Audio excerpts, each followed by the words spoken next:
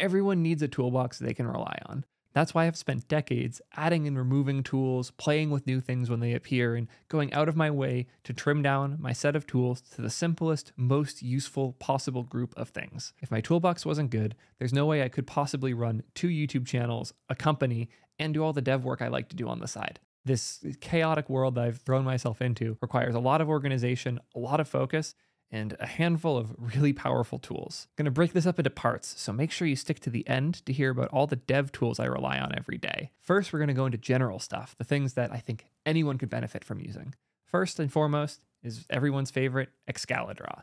If you've watched this channel for any amount of time, you've definitely seen my diagrams and graphics all with that handwritten style. I have a secret. My penmanship sucks. I can't whiteboard, I can't draw and have things look the way they're supposed to. It's just not a skill I developed. I actually was almost held back in elementary school for how bad my penmanship was. Excalidraw gave me the freedom to express myself with graphics and design. And because of that handwritten style, I don't feel like I have to sit there and perfect every detail, unlike, to be frank, every other graphic solution I've tried. Doesn't mean those tools aren't useful. We'll get to some of them in a bit. But when I just want to get an idea out of my head in a way that I can share it with others visually, Excalidraw is a great way to do it. But what about when I just want to put some text down in a file? Notion has been a lifesaver for me here, both for running the channel and and my business, and honestly, managing my life, Notion has proven essential as a way for me to dump my brain. Notion syntax is Markdown. You can even export Markdown from Notion, which is super handy. Its file management is simple and intuitive, where every document can have subdocuments just by typing slash page. I use one Kanban within Notion to manage the content going on the channel, but when it comes to really breaking down our tasks and keeping track of things, Linear has been our go-to at Ping. Linear is the subset of Jira I didn't know I needed because God, I cannot stand Jira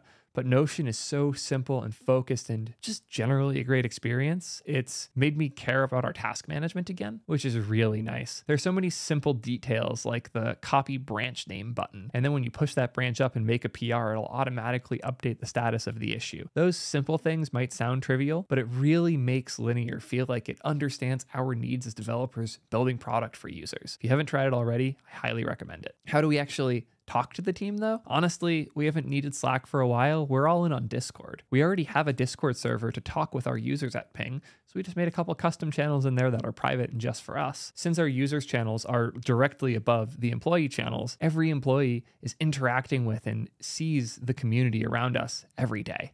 It's proven to be a great way for each person on the team to better understand the users of the product, and we see no reason to make a separate private communication channel that is just us when we can have private channels in our public servers. For my personal tasks, I used to use Notion, but it's a little clunky, and I like having a hotkey to quickly type in a task.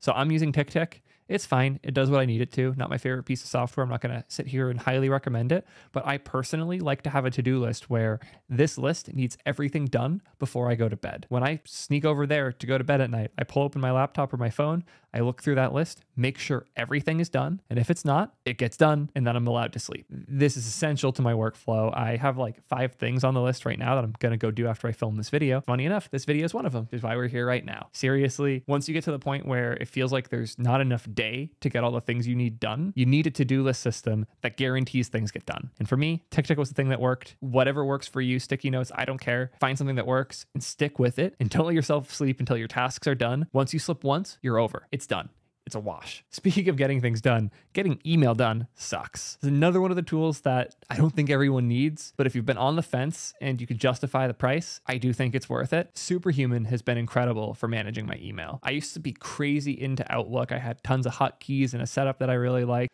Before then, I was into Inbox, the mobile app by Dropbox for email. It was a fantastic experience with this the simple sliding left and right. Always been an inbox zero person. It's important to me. And Superhuman's the first tool I found in a while that really feels like it's trying to get me to inbox zero, both on mobile and web, in a way that understands the importance of some of my emails. I was surprised. It's worked well for me. I tried it out on a whim and I've stuck to it. So if you're unsure, give it a shot. You might be surprised like I was. Those are the things I will not be giving up. But there's two tools I'm trying right now, and we'll see how they survive throughout my 2023.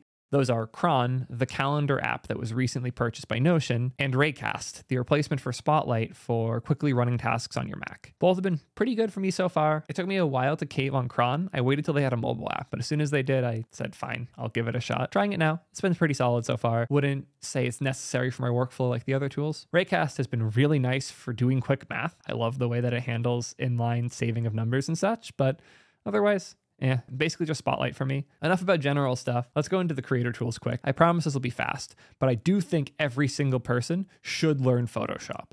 If you use a computer, you should know how Photoshop works, the very basics. I was not expecting myself to ever go in the graphics direction as a kid. I learned Photoshop simply because it was another computer class I could take at my school, and I loved taking every computer class I could. And I fell in love. Specifically, I fell in love with removing all the zits from my face. But through that, I spent a lot of time in Photoshop, the a totally legally borrowed copy, and I got good at it. I started helping other people with Photoshops, both like fixing photos and making graphics happen. I got involved with the team at my school doing the newspaper, working with InDesign, and I slowly got pretty familiar with all of the Adobe products. I hate them now and wouldn't ever use them, and what I'm going to tell you to do instead is use Affinity Photo. Affinity has been phenomenal. It feels like all my Adobe muscle memory works, and I can get stuff done. It was like 40 bucks for life. Super cheap, really good. Every thumbnail on my channel was edited in Affinity Photo. It's just great software. Don't pay Adobe's fees. Do learn Adobe's patterns. Photoshop's the single tool I am the most thankful I learned. It has shaped every piece of software I've touched since. On the video side of things, obviously we're using OBS. It's the standard. I have it open on my desktop right here in the tab bar running this recording. I have a bunch of crazy workflows and tools I use around it. One of the essential pieces is an open source tool called Lossless Cut. Lossless Cut is an Electron-based FFmpeg wrapper. Makes it really easy to drop in a file, pick chunks you want to have saved, and export them.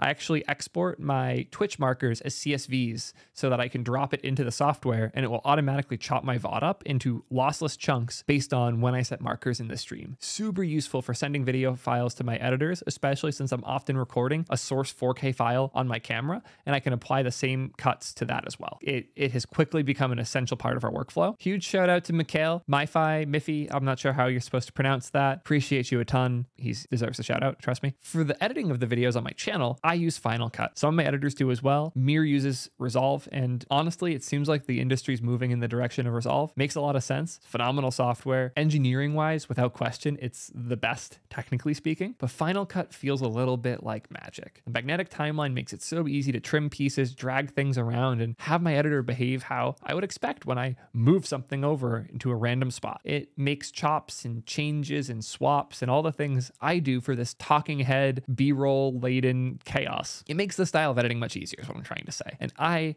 love it. I've tried Resolve. I was deep in Adobe for a while, so obviously I was pretty familiar with Premiere. Final Cut was a very natural transition off, and I've not looked back. And all my attempts to learn Resolve have hurt me greatly. So yeah, Final Cut for life. Get if you don't want to be on the Final Cut bandwagon though, no hard feelings. And now we get to the thing y'all are here for, the developer tools. First, we should go into my editor. We've already gone into my editor and done terrible things. I'll make sure there's a link in the description to the video where y'all destroyed my editor. Uh, show the thumbnail too, please. Anyways, my editor's pretty simple. I just use VS Code. I let Prettier and ESLint do their thing. I don't really have any interesting extensions on it. Yeah, my VS Code's boring, and I like it that way. Do you know what else is boring? my terminal. I use the stock terminal in macOS. I was deep on iTerm. I'm sure a lot of us were, but man, the stock terminal feels faster. It just does. I've swapped around a bunch and found the stock terminal to be the most pleasant experience, and it's one less thing to install. Inside of the terminal, I don't use things fully stock. On macOS, Z Shell is the default, which is really nice. I still like the things Oh My Z Shell installs, like the Git autocomplete and such. I've heard there's better ways that are more performant, but I don't care. I also use Oh My Tmux on alongside, obviously, Tmux because window management in a terminal feels essential to me at this point. I got into terminals before I ever wrote a line of code. I was deep in,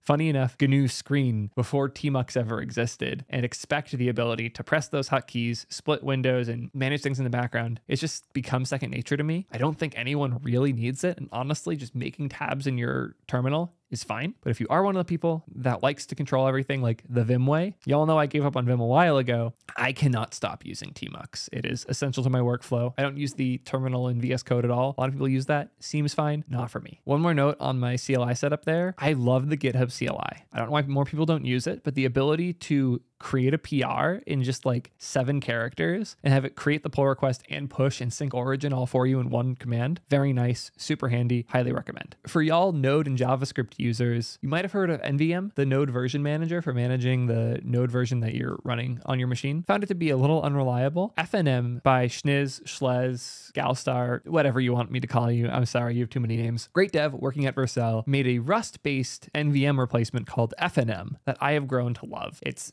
the thing I use for managing Node on all my machines now, and it has been way simpler overall. And it's really fast. Give it a shot if you haven't. If you're working on systems and development locally, probably tried things like Postman before. When it comes to just running webhooks and accessing data on your endpoints, like faking a Stripe webhook, faking a Segment webhook, faking a Discord webhook, because none of the tools really seem to solve that problem well of simulating events, my co founder, Mark, complained a lot about it, and we decided to build a tool to make it easier. And now we use Webhook Thing almost every day. Webhook Thing, uh, webhookthing.com, we'll throw a link up there, is a simple tool that lets you write some JSON blobs, throw them in a folder in your directory. You can run npx webhook thing, click the events you want to run, and it will hit whatever endpoint you specify. Super simple for running webhooks against your local environments. Makes testing things for this modern serverless world way easier. Super excited to have that out. Let me know what you think about that in the comments. In a similar vein, I really like Prisma Studio. Even when I'm not using Prisma, sometimes I'll quickly generate a schema just so I can use Studio to navigate in the SQL. It's a really nice graphical like table for your SQL. If you're already using Prisma, it's as simple as typing npx Prisma Studio in your terminal and it will spin up a local environment that gives you full access to your database. Super, super handy. And one last shout out to Create T3 app. Create T3 app was originally a community project created by Nexxel based on a lot of the recommendations and tooling that I talked about on stream, he codified all of that into a starter pack that lets you select a bunch of the tools we talk about here, including Prisma, Nextauth, TRPC, and Tailwind. And depending on what you do and don't select, it'll create the best, simplest possible boilerplate with all of those pieces connected correctly. I don't say correctly in the we have opinions way. I mean, we worked with the maintainers of all of those frameworks to make sure all the pieces play nice together as well as possible. If you're using any combination of those tools, you should at the very very least run Create T3 app to make sure your implementation is aligned with that implementation. And if it isn't, that you have good reasons for why it isn't. Because Create T3 app is the recommended way to use all of those technologies together or honestly any subset of them. That's all we have. If you haven't already watched the video on my 2023 stack infra and my 2023 stack tech, make sure you check those out. This is just the tooling video. Those are the ones that talk more in depth about the rest of my stack. Thank you as always. This was a fun one. Peace nerds.